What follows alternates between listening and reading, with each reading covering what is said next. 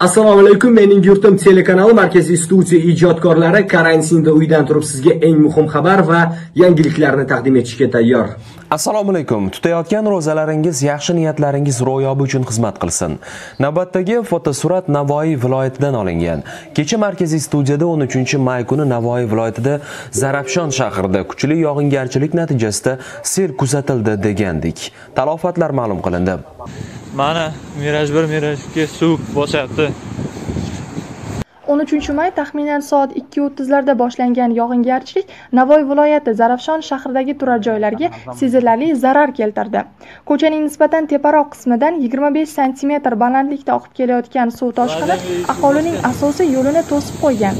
Qariyb 2 soat davom etgan sel uylarning devorini nurashga ham ulgurdi. Ma'lumotlarga ko'ra, sel suvlari Chorbog' Zarafshon bog'dorchilik jamiyatidagi vaqtinchalik yashovchi dala hovullarga kirib borgan va u yerdagi 120 nafardan ortiq fuqarolar doimiy yashash hududlariga olib o'tilgan.